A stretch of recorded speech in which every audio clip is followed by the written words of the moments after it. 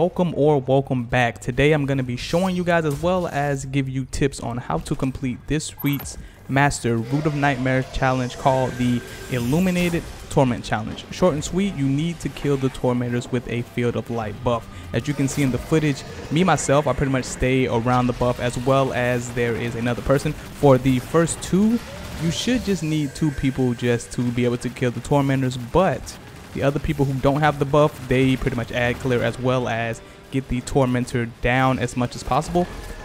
On the first two, I believe we were able to save it. I know for sure on the first one, um, as we ran it a few times, you can end up saving the first, first tormentor to the second um, part.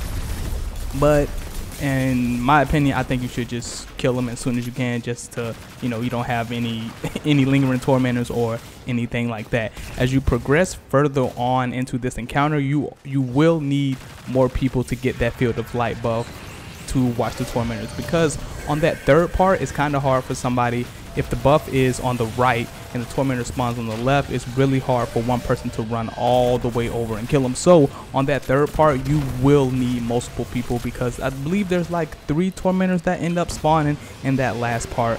Uh, I believe left, right, and top, or they kind of can alternate or mix up. It doesn't matter. But you will need multiple people on that third part.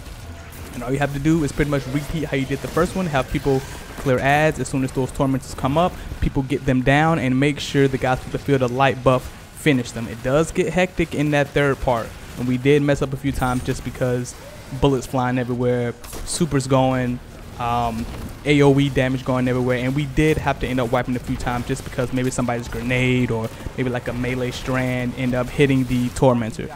But that's all you have to do, and you do end up getting your chest as you can see at the end. I will be showing the weapon that I got. I did get a sidearm. It's decent. Of course, I'm looking for the AR adept, but there you guys have it. I hope you found this helpful. If you did, hit that thumbs up button, as well as comment down below what was your method on completing this challenge. And as always, thank y'all so much for watching, and I will see you in the next one.